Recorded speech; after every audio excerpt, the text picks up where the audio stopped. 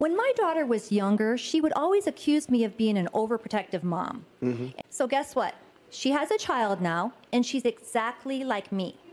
I almost feel like I have to wrap this little sweet guy in bubble wrap before I take him outside to turn him out so he won't get hurt.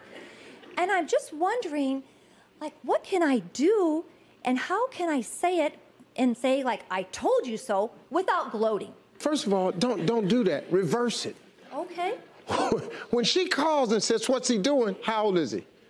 He is two. Too good. This is really good. He should go, Mom, Mom, how's he doing? Just say he's out in the street playing kickball.